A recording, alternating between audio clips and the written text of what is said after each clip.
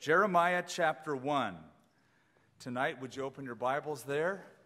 And uh, let's have a word of prayer. We'll settle in and we'll go through this together. Heavenly Father, we thank you for your faithfulness to us.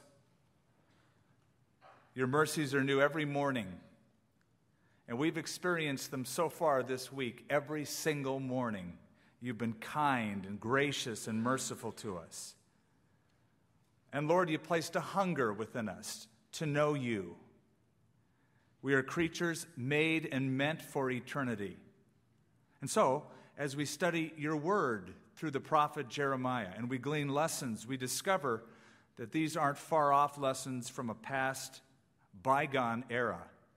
But these things, as Paul said, were written for our admonition, for our learning. Help us, Lord, to understand what these lessons are. In Jesus' name, amen. I uh, just got off an airplane a couple hours ago. I've been in North Carolina Monday, Tuesday, and this morning. And uh, there's a three hour time difference. So I got up at 3 o'clock your time this morning which is 6 o'clock their time. And so my head sort of, I don't know what time zone I'm in exactly. I think I passed myself coming back on the airplane. Uh, but I was out there at the Billy Graham Training Center called The Cove, which I do every year. I've done it for about 15 years. And uh, we studied the book of Jonah together. There's four sessions, and there's four chapters in the book. So uh, we did it. Now, I spent a lot of time in the airport going out there because the plane was delayed. They put us in one flight from Cincinnati to Asheville. We took off late. In the air, halfway there, they turned the plane around because of technical difficulties, landed back in Cincinnati, uh, put us on another airplane, uh, got into Asheville late, and was barely able to walk onto the podium and speak that night, but we made it. So, I heard lots of things this time in airplanes and airports that I'd heard before but I didn't pay any attention to them. And I also discovered that my fellow passengers didn't pay much attention to them as well. It's those same announcements they give on the airplane that you know, but if you were to say it, you probably couldn't say it, but you know you should be listening, but you know what to do, and you just forget about it. And now they're saying, Would you please give me your undivided attention? That's what the guy said. So I gave him my undivided attention, and he said what I'd heard so many times before. In case of a lack of oxygen pressure, a mask will fall down from ahead of you, place it over your nose and throat, and breathe evenly. And then place your mask first, and then assist the person next to you, etc., etc. I noticed, though, a lot of people by that time were reading books, looking around, looking at magazines, talking to one another. The message was going out but they really weren't listening. Well, that was the prophet Jeremiah's ministry, so to speak. He was called to a very difficult task to speak to a nation that did not want to hear. And there even comes a point in his ministry where he wants to quit. Incidentally, we've been studying the book of Jonah the last few days in North Carolina. Jonah quit the ministry even before he began it. God told him to go to Nineveh. He goes, I'm going to Tarshish. I'm taking a princess cruise the opposite direction. When he was really down in the mouth, God got his attention and he went in obedience. But he wanted to quit. Jeremiah, uh, Jeremiah also came to a very difficult point in his life where he wanted to quit the ministry. But he said, The word of the Lord was in my heart, burning like a fire. And so he had to do what God told him to do. Um, Jeremiah has been called the weeping prophet. I look at him as the tender warrior. He was tough and tender. He gave a very difficult message, messages of judgment to a nation that didn't want to hear, a message of judgment to a nation that was going downhill and would ultimately be taken captive. They did not want to hear that message. And Jeremiah was highly unpopular, but he had a great mix of being fearless and bold, at the same time, touching the feelings of the very people he was speaking to. So, even though we haven't even begun in chapter 1, verse 1, turn over to chapter 9 for just a moment, and you'll get a glimpse into the kind of person we're dealing with. Jeremiah chapter 9 Oh, that my head were waters, and my eyes a fountain of tears, that I might weep day and night for the slain of the daughter of my people. Oh, that I had in the wilderness a lodging place for wayfaring men, that I might leave my people and go from them, for they are all adulterers, an assembly of treacherous men. It's actually a great mix to have the quality of being tough and yet tender at the same time, especially if you're going to speak a hard message to people. Somebody once said, You have no right to preach on hell until you've wept because of it. Jeremiah was of that ilk, of that sort. Tender, but tough. It was Stuart Briscoe that said every pastor should have the mind of a scholar, the heart of a child, and the hide of a rhinoceros. Well, every prophet should have that as well, and Jeremiah had it. But here we see him weeping over the sins of his people. Jeremiah presided at the funeral of his nation. He knew it was coming, they didn't. False prophets were coming and saying, It's going to be okay. Jeremiah knew better, and he had the dismal task of doing the funeral of his own nation. Actually, when I read Jeremiah, when I look at his life, and there's lots of personal literature written about him in his book, a lot of is unveiled. He reminds me of Jesus. In fact, he reminded a lot of people of Jesus. For when Jesus at Caesarea Philippi asked his disciples, Who do men say that I, the Son of Man, am? And they gave a list of different ones. Some say you're John the Baptist. Some say you are Jeremiah or one of the prophets. No doubt it's because Jesus' style of ministry reminded them of Jeremiah, what they knew about him historically. Tough but tender. So, on one hand, Jesus would utter denunciatory judgments Woe unto you, scribes, Pharisees, hypocrites. He let them have it. On the other hand, he would be so tender. To the woman caught in adultery, Women, where are your accusers? Sir, I have none, she said. Neither do I condemn thee. Go and sin no more. To the paralytic, who was let down through the rooftop by his buddies. Jesus saw him on the floor and said, Be of good cheer, your sins are forgiven. Jesus forgave his sins and he healed him. Or the man at the pool of Bethesda in John chapter 5, after Jesus healed him and they excommunicated him from the synagogue and the temple, it says Jesus found him and drew him in to fellowship. But the ultimate, I think, the ultimate thing that reminds me of Jeremiah in the life of Jesus is when Jesus stood over Jerusalem, much like Jeremiah, and he wept over Jerusalem. He saw the city spread out before him, and he said, Oh, Jerusalem, Jerusalem, how often I would have gathered you as a mother hen gathers her chicks, but you were not willing. Therefore, your enemies will cast a bank around you and destroy you. And Jesus wept. Literally, he sobbed convulsively, is the Greek language. So, like Jeremiah, the tender warrior, Jesus Christ. And that's why people were reminded of Jeremiah as they saw the ministry of Jesus. Well, in Jeremiah chapter 1, we begin the words of Jeremiah, the son of Hilkiah, of the priests who were at Anathoth in the land of Benjamin. Let me tell you a little bit about this guy. We know who his dad was, he's mentioned here. We know where he lived, it's mentioned here, three miles north of Jerusalem, a Levitical enclave. It's where priests hung out. Why'd they hang out there? Well, they, they wanted a place away, but they had to be within walking distance to the temple. That's where they worked. When uh, Jeremiah was born, the guy who was on the throne of Judah was named Manasseh. And King Manasseh, the Bible tells us, was the most wicked king ever.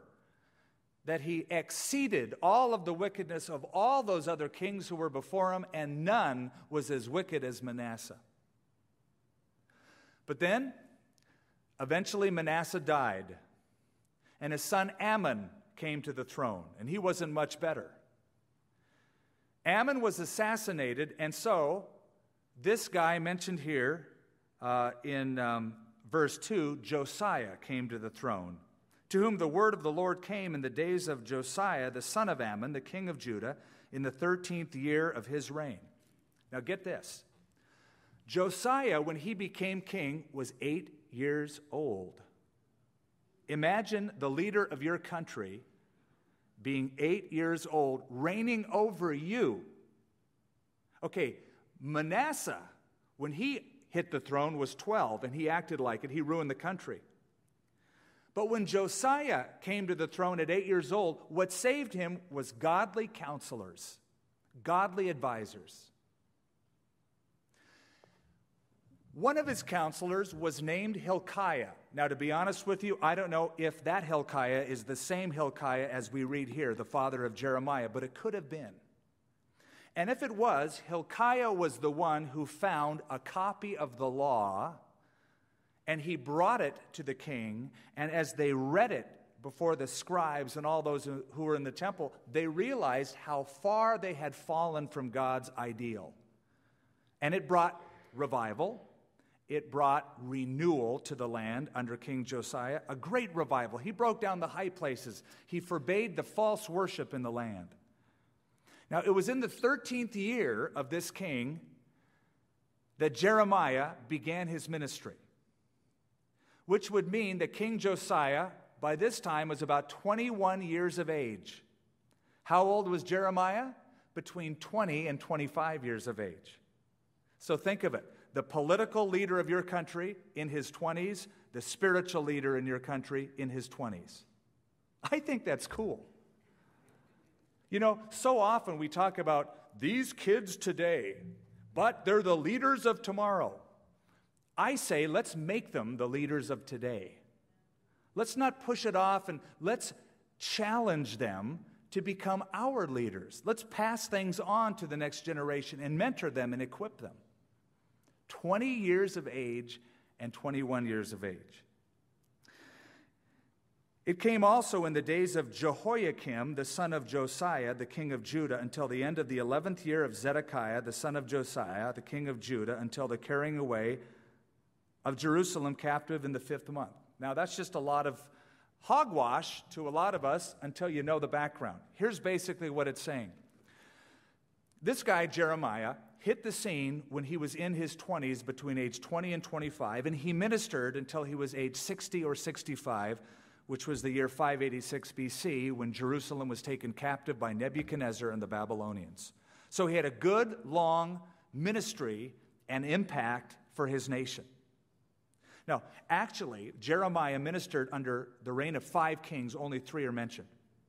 But five altogether Two of them are hardly worth mentioning because one was on the throne for three months, barely got the throne warm, and the other was on the throne three months and 10 days. And uh, I could go into the historical intrigue, but I don't know how interesting it would be to you. But the Egyptians deported one, the Babylonians deported two. The last one, Zedekiah, was put there by King Nebuchadnezzar as a vassal king. And when Nebuchadnezzar came into Jerusalem and wiped Jerusalem out in 586 BC, he took this king, Zedekiah, who had rebelled against Nebuchadnezzar, and he killed Zedekiah's sons in front of his eyes, and then he blinded King Zedekiah so that the last visible memory he would have would be the death of his sons. But there was a prophet in the land, Jeremiah or as they say in Hebrew, Yirmiyahu. It's easier to say Jeremiah, huh? Then the word of the Lord came to me, saying, Before I formed you in the womb, I knew you. Look at that. Let that sink in. Before you were born, I sanctified you, and I ordained you a prophet to the nations. Now, God takes responsibility here for forming the prophet in the womb of his mother. I'm glad Jeremiah was born. I'm glad Jeremiah's mom didn't believe in abortion. I'm glad that Jeremiah's mom had a biblical worldview and saw mankind as God's crowning ultimate creation, where He forms us in the womb, that we're not here by accident. There was a teacher in his class who wanted to uh, show the faultiness of human reasoning. And so he gave this postulation to his class. He said, How would you advise a mother? Pregnant with her fifth child based upon the following facts the husband has had syphilis, she has had tuberculosis. The first child was born blind. The second child died. The third child was born deaf. The fourth child had tuberculosis. The mother is considering an abortion. Would you advise her to have one? Most of the students in the class agreed, under the circumstances, she should have an abortion. Then the teacher said, Congratulations, you've just killed one of the greatest composers ever, Ludwig van Beethoven. That was his family history. But the world is all the better for the music that he produced. Jeremiah, before I formed you in the womb, I knew you. You see, no matter what our culture says, the Bible plainly states, by adding all of the scriptures together, that upon conception, human life begins. At the formation of the zygote, when the sperm and the egg come together, and there is that reproduction that takes place at the cellular level before we even reach our 60 trillion cell limit. And then that zygote will eventually become an embryo, and then a fetus, and then the trillions of cells in our body, the 100,000 miles of nerve endings, the 60,000 miles of vessels in our body, the 250 bones, and all the ligaments, etc. A special creation by God. What a powerful text. Before I formed you in the womb, I knew you. Before you were born, I sanctified you or set you apart as my own. I ordained you a prophet to the nations. In other words, Jeremiah, before you were ever a twinkle in your parents' eye, I knew all about you and I had and have a plan for your life. How exciting. You ever thought about the plan God has for your life personally? I'm sure you have. I hope you have. I look at it as an adventure. Where's the Lord going to take me now? What's going to happen now? Now, you make plans for your life, and you think, I know what's going to happen tomorrow and in a year I've got it all plotted out. Oh, really? You're dealing with God. He happens to be sovereign, and God has editing rights over your life, you know. Oh, you have the script planned out. You got the movie already ended, man. You've written it down. He has editing rights.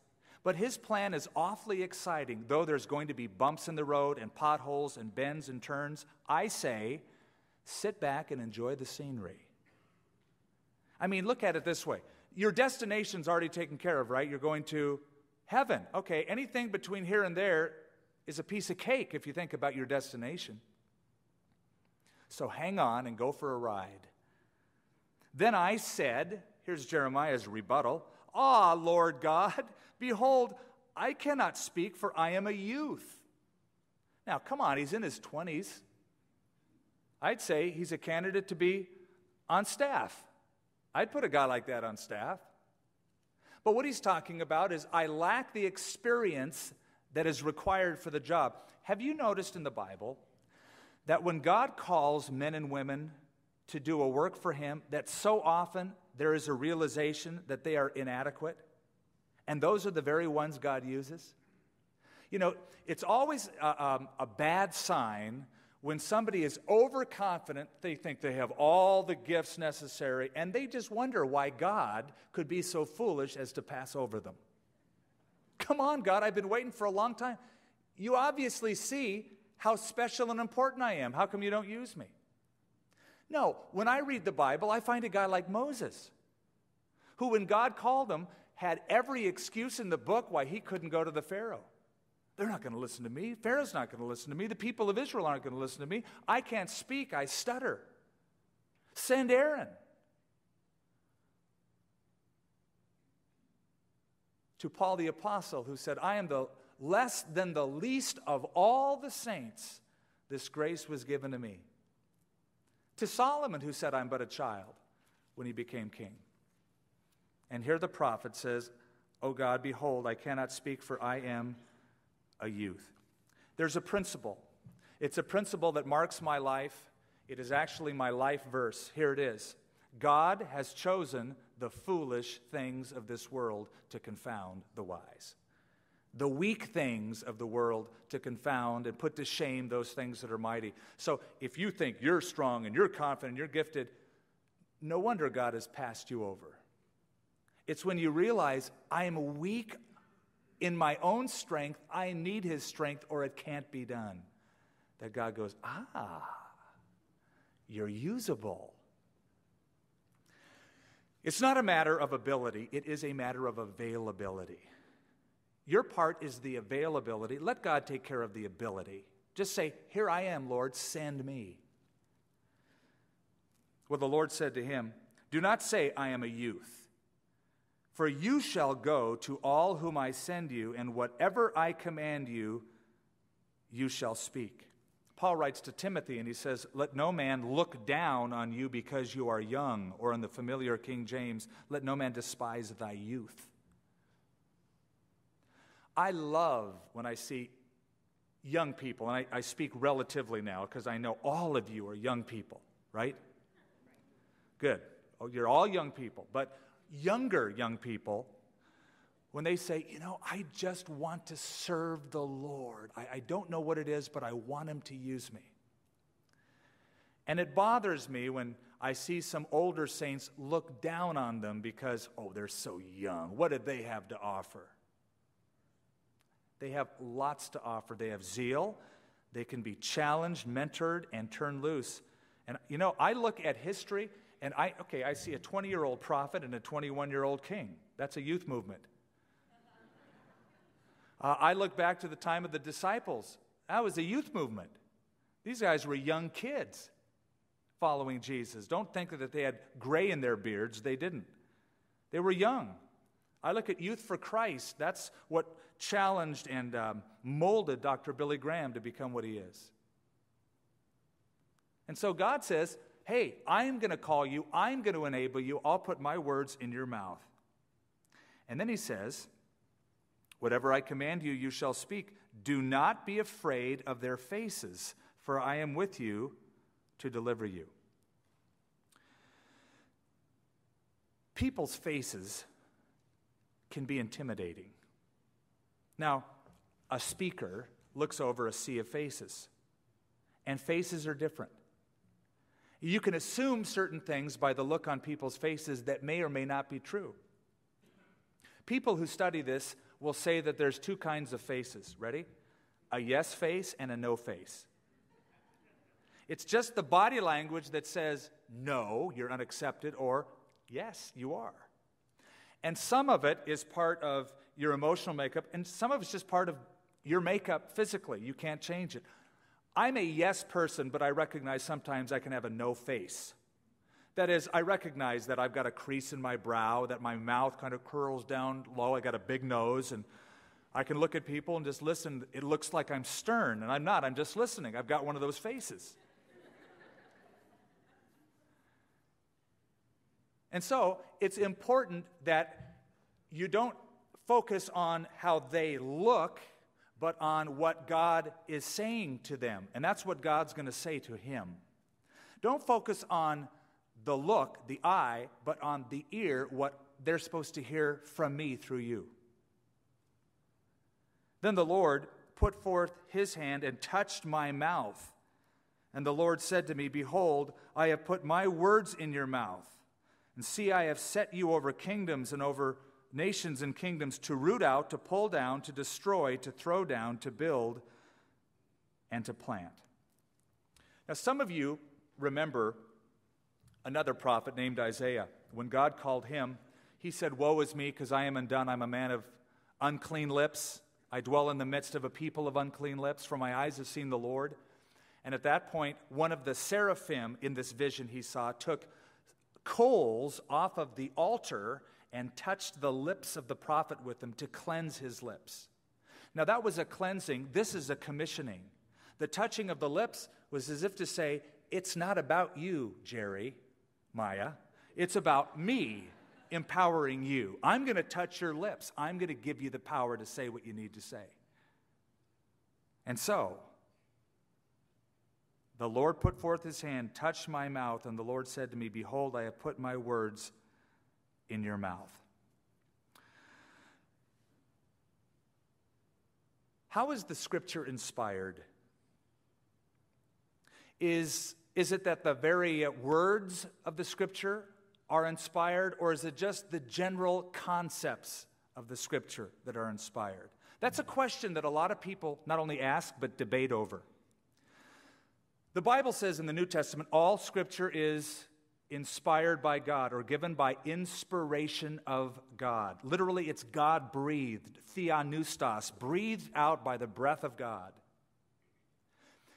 In reading that, some who are on the liberal end of biblical scholarship say, well, when it says the Bible's inspired, what it means is it's sort of like a, a good novel or a good movie or a good song. It's inspirational. Uh, on the level of, of great human inspiration. That's called natural inspiration. Others will take it a step further and say, well, no, it's got to be more than that. We believe that this is the Word of God, at least in concept. So they believe in, in what we call concept inspiration. The concepts, but not the words, are inspired. In other words, God gave to John, uh, excuse me, to Paul, the concept of divine love, but then Paul, in his own words, wrote 1 Corinthians 13. What are we to do with that? We're to throw it out. That's what we're to do with it. All scripture is given by inspiration of God, even down to the very words. How do we know? Jesus said, Not one jot, not one tittle will pass from the law till all is fulfilled. That's the crossing of the T, the dotting of the I. It's all going to be fulfilled. It's fulfilled and, and it's inspired down to the very words themselves. There was a, an instance where the Sadducees came to Jesus and wanted to argue. And Jesus told them something that should sort of seal the deal for us when it comes to the very words being inspired. The Sadducees, who didn't believe in a resurrection, thought they trapped Jesus over in Matthew chapter 22. They said, Jesus, we got a question for you. You know, Moses said in the law that if a guy marries a gal and, and he dies and they don't have kids, that his brother is supposed to marry his wife and raise up children for his dead brother. Well, we know this, this family. They had seven boys, and the oldest married this gal, and he died. And then brother number two married her, and he died. And number three, all seven of them married the same gal, and they all died. Now, wouldn't you be a little suspicious at that point? Wouldn't you wonder what she's putting in the coffee every morning? But he went along with it and he listened to it. And so then they thought they had him. They had him trapped. They said, okay, in the resurrection, whose wife will she be? And I love Jesus' answer. He said, You are ignorant, not knowing the scriptures. He said, Haven't you read? And he quotes the law of Moses and, and how God made the male and female, etc.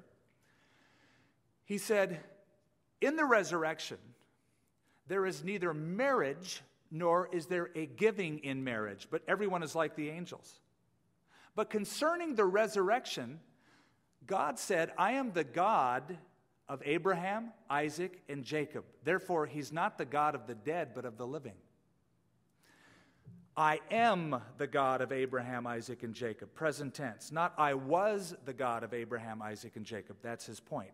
He's using the present tense, even though, listen carefully, Abraham, Isaac, and Jacob had been dead for hundreds of years. So Jesus said, Didn't you read what the Bible says? The Bible said, and this was written after those guys had died I am the God of Abraham, Isaac, and Jacob. Therefore, he's the God of the dead, uh, of the living, not of the dead. In other words, Abraham, Isaac, and Jacob are still alive. There is a resurrection. There is a future plan, and the soul is immortal. And Jesus based his whole argument on the verb tense of an Old Testament text. So here again, Jeremiah is told by God, I put my words in your mouth. And he's going to speak the very words that God told him to speak. I've set you this day over nations and over kingdoms. And he tells them what he's going to do. And what a hard ministry. And I've heard of some hard ministries, and I've encountered a few, but here's his ministry to go to a nation and to root out, to pull down, to destroy, to throw down. And he had to do that before he could build and plant. Sometimes systems can become so corrupt, the only thing you can do is start over. You've got to root out the old way of thinking, the old paradigms. It becomes dead and rotten and corrupt, and God is saying this to his people. Jeremiah, I want you to build, but before you build, you got to pull down, you got to destroy, you got to uproot. And that was his ministry to the nation. Moreover, the word of the Lord came to me saying, Jeremiah, what do you see? And he said, I see a branch of an almond tree. And the Lord said to me, You have seen well. You got good eyesight, buddy boy. For I am ready to perform my word. And the word came to me, the Lord came to me a second time, saying, What do you see? And I said, I see a boiling pot, and it's facing away from the north. The Lord said to me, Out of the north, calamity shall break forth on all the inhabitants of the land. For behold, I am calling all the families of the kingdoms of the north, says the Lord. They shall come, and each one set his throne at the entrance of the gates of Jerusalem against all its walls all around, and against all the cities of Judah I will utter my judgments against them concerning all their wickedness, because they have forsaken me, burned incense to other gods, and worshiped the works of their own hands. By the way, in the book of Jeremiah, you will encounter 21 different illustrations of judgment that are going to come upon this people. In his vision, he sees an almond tree. Now, the root for almond is in Hebrew, saked, and it literally means to wake up. And so, the almond tree in Israel was called the awakening tree because it's the first tree to blossom in the wintertime. It comes out in January over in Israel. It's the first one to awaken.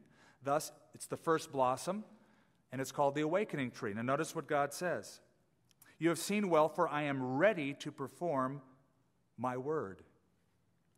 God was going to send a wake up call to the nation of Israel. And he was awakening them for judgment. He was going to see his word performed. Sort of like an alarm clock. Nobody really likes an alarm clock. We have them, we tolerate them, but nobody likes to be woken up out of a dead sleep. Try it sometime. Just take away the alarm clock and go into your, your wife or your husband in the morning and turn the light on bright and go, Good morning! And check out the look on their mug. Not a happy camper. We don't like to be awoken. God was going to awaken them through judgment. Second vision, a, a, cauldron, a boiling pot facing all the way toward Jerusalem from Babylon. God would pour forth his judgment. He would send hordes, armies, and they would three times surround the city, and the third time, 586 BC, they would capture it. So he's given these word pictures to the prophet of what they would see coming in the future. Why? Because of their idolatry. He says that in the, in, in the verses we read. Verse 17, therefore prepare yourself and arise and speak to them all that I command you. Do not be dismayed before their faces. I imagine Jeremiah had to look out on a lot of grumps as he gave the word of God to them. They weren't yes faces, they were no faces. And so again, God had to say, Don't be dismayed. I'm going to put my words in your mouth. It's a heavy message. For, for behold, I have made you this day a fortified city and an iron pillar and bronze walls against the whole land, against the kings of Judah, against its princes, against its priests, against the people of the land. And they will fight against you, but they shall not prevail against you. For I am with you, says the Lord, to deliver you. Whatever God requires from you, God will deliver to you. Whatever God calls you to do, He will give you the tools to do it. So rather than saying, I don't want to do that kind of ministry, say, Lord, if that's what you've called me to do, then I'm going to look for the tools, gifts, talents, equipment to pull it off. Or it's not going to be pretty. But that's the attitude to have. If God calls you to do it, God will give you the ability to do it. So I'm going to give you this temperament. I'm going to put my words in your mouth. I'm going to set this up for you over nations. I'm going to let you be in the courts of the kings of these nations that you're going to prophesy against. But here's the real clincher I am with you, says the Lord, to deliver you. Now in chapter 2, we get into the first message. And the God gives it to him, and then he proclaims it. Moreover, the word of the Lord came to me, saying, Go and cry in the hearing of Jerusalem, saying, Thus says the Lord. Now, what you are going to read in this chapter and in the upcoming chapters is God is going to review a list of the ways the children of Israel, Judah, the southern kingdom, Jerusalem and its environs, have backslidden. It's a frequently used word in the book of Jeremiah to backslide, to go backwards. It's used at least 16 times. Some translations have it more. God tells them about their backsliding. Now, here's the thing about backsliding if you're not moving forward, you're moving backward. See, following the Lord Jesus Christ is sort of like riding a bicycle uphill. The moment you stop, you don't stay there, you go backwards. And so we're called to grow in the grace and knowledge of our Lord and Savior Jesus Christ. Onward and upward. The Lord says, Go and cry in the hearing of Jerusalem. Thus says the Lord. Here's the message I remember you, the kindness of your youth the love of your betrothal when you went after me in the wilderness in a land that was not sown. Israel was holiness to the Lord, the first fruits of his increase. All that devour him will offend. Disaster will come upon them, says the Lord. God is remembering and asking them to remember the springtime of their love together. He's looking back to the wilderness. He's remembering the time when they were in Egypt and God delivered them with a mighty hand, opened the Red Sea, miracle after miracle. There they were in the desert, totally dependent upon God. If God doesn't send manna, we're toast. If God didn't bring water out of the rock, we're toast. This is paraphrased a little bit. If God didn't take care of us, we're dead meat. If God doesn't send meat, we're dead meat. And they trusted him, and he provided for them. And it was like this young love relationship, like a young girl and a young man dating, and they just couldn't get enough of each other. They'd be out in the wilderness. Can you believe it? Manna came again today. And the Lord gave water out of a rock, and he's providing every day. Now, yes, they complained, but compared to where they were now, it was beautiful. They sought him they trusted him. They followed the pillar of fire by night and the pillar of cloud by day. Just a, a walk of faith. God says he misses that. And perhaps with some of us, God is looking back to a time in your life that he misses. Jesus wrote a postcard to a church that was only 60 years old and it was the church of Ephesus. From the moment it was founded by Paul the Apostle to the time Jesus wrote a letter, it was just about, they had celebrated their 60th anniversary as a church, and it was dead. Jesus said, There's a lot of good things you do. You, you work hard, you're very busy, you got a lot of committees, a lot of people doing a lot of stuff. But one thing that bothers me you've left your first love. And Jesus said, Repent. Remember from where you have fallen, repent, and do those first works again, or else I will remove the candlestick from its place. The first love is the love of betrothal, it's the love where you see it in a young couple. He calls her all the time. She can't get enough of him. He'll drive across the universe to see her for 10 minutes and drive back because it's her. He opens the car door for her. He buys flowers for her. Sometimes I look at couples in a counseling session and I hear them after a period of time. They've been married now, and the language is very different. They're looking at each other like, How did I get saddled with you. And if I have done the wedding, I ask them, What happened? Where did you go astray? What happened to the young man that I remember who called every day? What happened to the young lady who was so thankful to God for this guy? Doesn't open the car door anymore for her, except maybe trying to slam it on her leg as she gets in.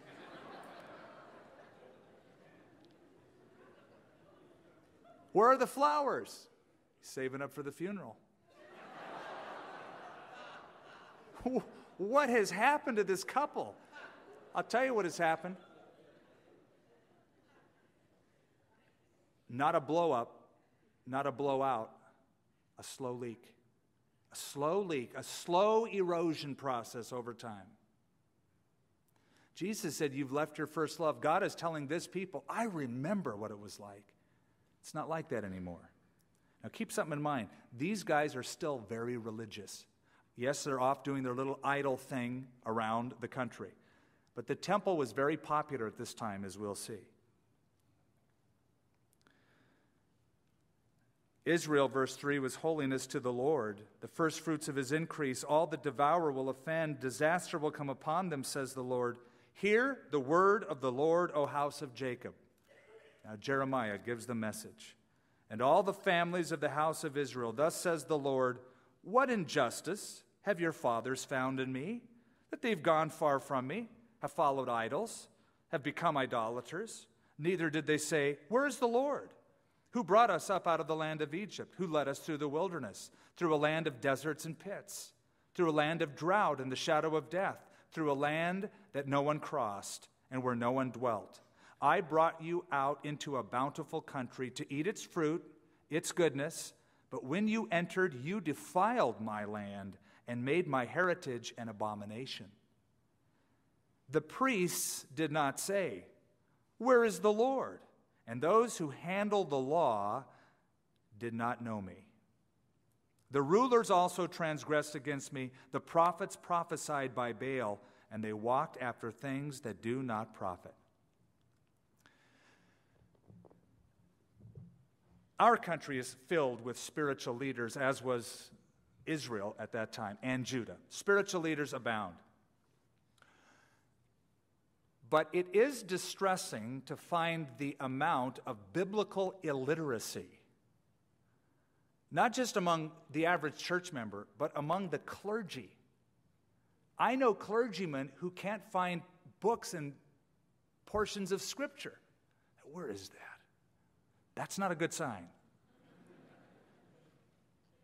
Years ago, I had a, a, a, venerable, wonderful gentleman by the name of J. Vernon McGee speak at my church in Albuquerque.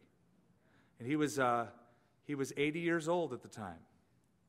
And uh, Dr. J. Vernon McGee has been on the radio ever since I can remember. I woke up to him every day, I listened to him, and it was just that great southern voice. And so we were talking, and I was interviewing him for a radio show in time. And I said, Dr. McGee, you've been around the country. And have you discovered that lots of pastors preach through the Bible? He said, No, it's very rare to find people teaching all of the Bible. He said, The average congregation can't handle it. And, and I, I said, Why is it? Why is it that, that the average pastor doesn't know his Bible and study and teach the Bible. And this is what he said because there's lots of lazy preachers. and that's just how he said it, too. He said, they're lazy. He says it takes a lot of work to read and to study and to dig and to get the history and the language to feed people the Word of God. But even, Even the priests weren't asking where the Lord is. Even the, the leadership wasn't interested in seeking God. Jesus indicted the Pharisees, the Sadducees, and the scribes of his day for much the same thing. Therefore, verse 9, I will bring yet charges against you, says the Lord. Against your children's children I will bring charges, for pass beyond the coast of Cyprus and see. Send to Kedar, that's northern Africa, Arabia, etc., and consider diligently and see if there has been such a thing. Has a nation changed its gods, which are not gods? But my people have changed their glory. I like this. God says, hey, you guys take a field trip and go out to all of these idolatrous Gentile nations that you are so enamored with. And see if you can find one nation in this Gentile circle that surrounds you, and see if anybody has forsaken their gods and exchanged that for a different worship system. If they've had a mass conversion from their idolatry and changed the worship system of the false gods to the true and living God. He said, You can't find it. He says, But my people have done it. In other words, I'm looking at pagan nations who are more devoted to their false gods than my own people, Israel and Judah, are to the true and living God. Now, I did hear about an interesting thing in India this last couple of years. There is a caste system that is outlawed but still tacitly understood and agreed upon in that country. The lowest caste is called the Dalits, the untouchables. And a ruling came up in the courts in India where the Dalits could choose a new religion. If they chose to forsake Hinduism or if they choose to follow Islam or Christianity, they would get together, convene, and choose a new religious system. And so you saw all of these various religions in India sort of pitching their goods and selling their religion on these people. Now, it didn't really go over the way they thought it would go over, but it was interesting that it was going to be a public thing done nationally in court and agreed upon. But it still didn't work. They're still back where they started in the, the false uh, idolatry of, of Hinduism. So after this field trip, God challenges them and he says, verse 12, Be astonished, O heavens, at this, and be horribly afraid. Be very desolate, says the Lord, for my people have committed two evils. They have forsaken me, the fountain of living waters, and hewn themselves cisterns, broken cisterns that can hold no water. In Israel, there's two ways to get water. One is from a stream, a river. That's called living water. It's alive, it's flowing. It has a source, and it's, it's, uh, you, you go down to the Jordan River, for instance. Any stream that was flowing was known as living water. The second way to get rain, uh, is to get water, is through rainfall. And there's two rainy seasons the early rain and the latter rain the Yoreh, early winter, and the Malkosh, late winter, early spring. Because a lot of these places don't have the living water, they depend on rainfall. They dig out of the rock cisterns, which are, are, basically holes in the rock, and then they plaster them up. They collect the rainfall, and if you ever go to Masada, you see some of the largest cisterns where it holds thousands upon thousands of gallons of water that would last them through the dry periods. They take the buckets out of the cistern, and it, it keeps them uh, watered throughout the year. Well, here's the tragedy God is providing them living water, flowing water, a, a, source, a spring, a stream. And they've forsaken that. I don't want that. And they've dug for themselves, this is their own worship system, their idolatry, for satisfaction. The picture is of a cistern that was dug, but it can't hold water. Now, this is, this is what it means. Imagine spending months digging a hole out of solid bedrock. You plaster it. You get it all set up. You look at the rain clouds. The rain clouds are coming. And it rains all day, all night, all week. And you expect to go down there after the rain and see the cistern filled with water. You go down there, there's no water in it. And then you examine it closely and you see the fissure in the rock. It's cracked, it's imperfect. You didn't see it when you were digging it, and you plastered hoping that it would keep away those imperfections, but now the fissure's grown bigger and the water's escaped. How frustrating. No refreshment. You get the picture? They've forsaken the refreshment of God and they've turned to things they cannot satisfy. They're broken cisterns, they can hold no water. What does that represent? I think it represents everything in life but God that we look for for satisfaction. It was idolatry, God said. But you know what an idol is? An idol is simply placing anything before God. To a lot of people, themselves are the idol. They live for themselves, they serve themselves. It's all about myself. If you look to anything else for satisfaction, you're going to be frustrated and miserable. The American population, for years, have been trying to drink out of broken cisterns that can hold no water. Now, this reminds me about a guy in the Bible named Solomon who had the wherewithal, the money to dig any cistern anywhere he felt like. And so he tried everything wealth, buildings, building pools, plants, gardens, wine, music. And after every episode, he wrote those famous words vanity, vanity, all is vanity. It's chasing after the wind. NBC did a special some time ago called Happiness, The Mystery of Happiness Who Has It and How to Get It. Who has it and how to get it? They asked people, What would make you happy? You want to hear some of the answers? One person said, A $100 million would make me happy. Another lady said, Just more ready cash would make me happy. One guy said, A castle would make him happy. Somebody else said, My own private island. And then one young guy finally said, A whole bunch of chicks. hey, before you go down any of those roads and dig into any of those cisterns, you should read Solomon, who had the wherewithal, time, and money to pursue those things. And read what he said at the end. He finally, after being burnt out with life, this is what he said. Here's his advice to young people Seek now your Creator in the days of your youth, while there's time before you get old. That was his advice.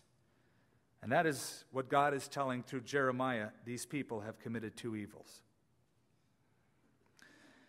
Is Israel a servant? Is he a homeborn slave? Why is he plundered? The young lions roared at him and growled.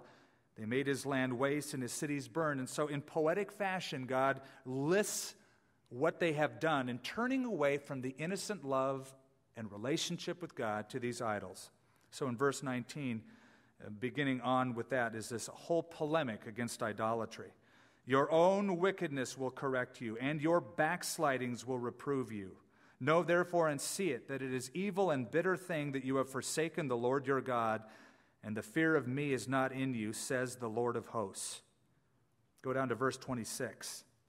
As the thief is ashamed when he is found out, so is the house of Israel ashamed, and their kings and their princes, their priests, their prophets, saying to a tree, You are my father, and to a stone, You gave birth to me. For they have turned their backs to me and not their face. But in their time of trouble, they say, Arise and save us. But where are your gods that you have made for yourselves? Let them arise if they can save you in the time of your trouble according to the number of your cities, are your gods, O Judah.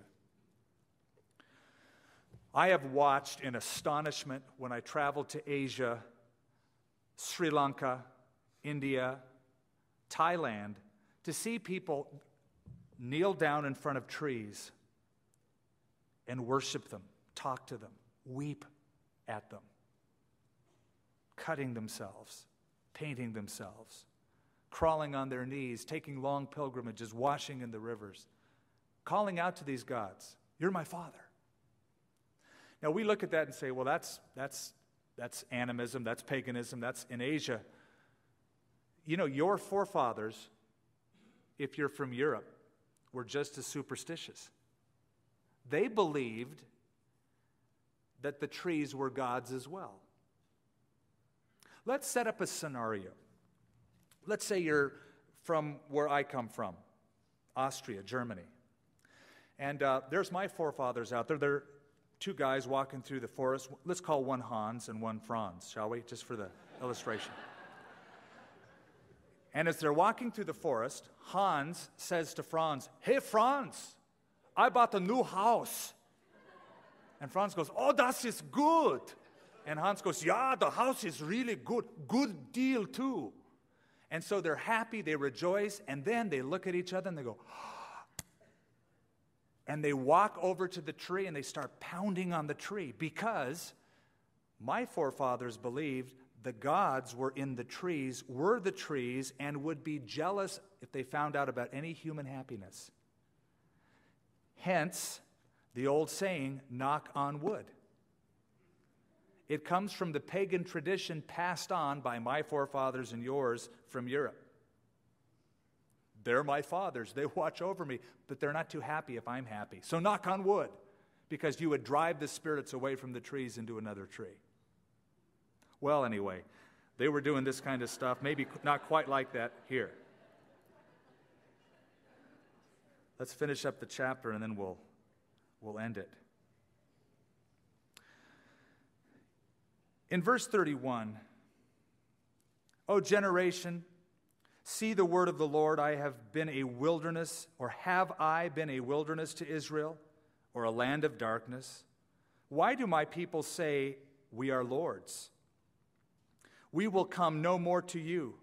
Can a virgin forget her ornaments, or a bride her attire? Yet my people have forgotten me days without number. Why do you beautify your way to seek love.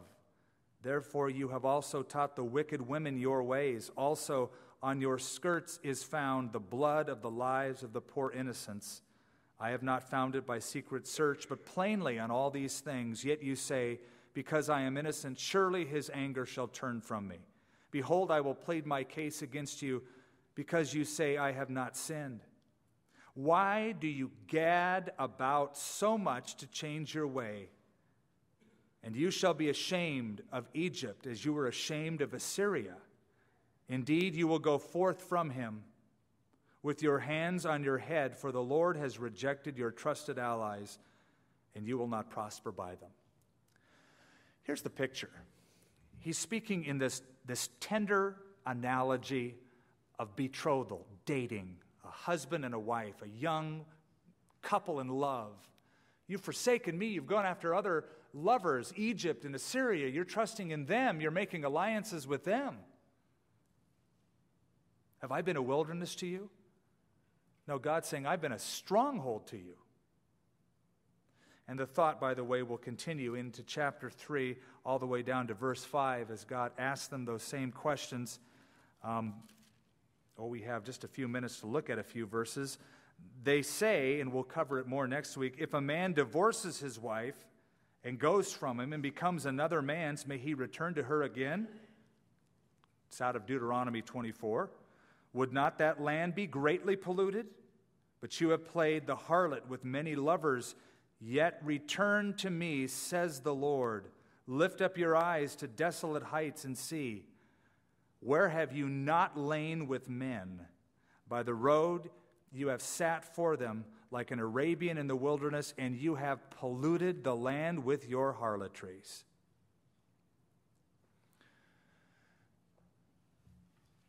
The Bible speaks about spiritual adultery. For the children of Israel to turn away from God and serve Baal, Ashtoreth, Molech, and these other false gods and goddesses was tantamount to a husband and wife in a relationship of adultery. God wanted an intimate relationship with them. For them to seek another God after all he had done for them would be like a wife or a husband turning from his or her spouse and going out with other lovers. And so that's why you read this metaphor, this analogy throughout this book. Now, here's the question as we close How seriously do you take backsliding? Because if I'm reading Jeremiah correctly and the amount of times he mentions it, God takes it very seriously. He calls his people to a celebration and joy and intimacy and accountability. But eventually, like Ephesus, like is the nature of man, we start cooling off. The fire dies away. We leave our first love. We don't love quite the same way. And then we look at young Christians who are on fire and we relegate that to, oh, they're so young, so inexperienced. Wait till they get stagnant like me, they'll be better off. and God's saying, but I remember what it used to be like, and it can be like that again. A lot of people look at Jeremiah in parallel to the United States of America. They see a nation that was raised up, God made it great. Israel would say, In God we trust. But then as the years went on, they didn't trust in God. And God calls Jeremiah to give the funeral eulogy to this nation. They are about to go into captivity. And many people see a parallel path with the United States of America. One nation under God, our forefathers believing in God, prayer in the schools, to what it has become today. You can get condoms in schools, you can't put up Ten Commandments. You can do almost any activity in a public school except pray. The Pledge of Allegiance is being attacked. We're trying to rule God out of our nation completely and altogether. And so people have asked me, Skip, do you think God is going to judge America? My answer is He's already done it.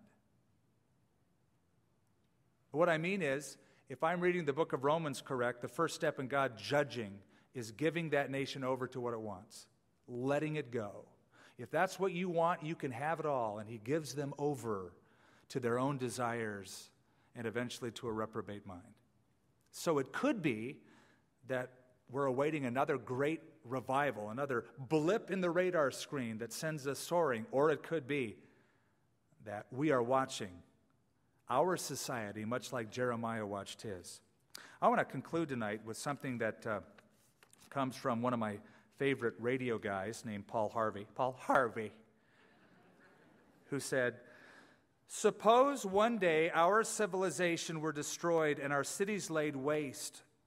Suppose in 20,000 years, an archaeologist from another time was poking around in the ruins of your city.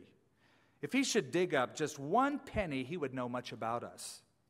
The coin, a blend of metals, would tell him that we were miners and understood the science of metallurgy. By the perfect circle shape on the coin, he would deduce that we understood geometry.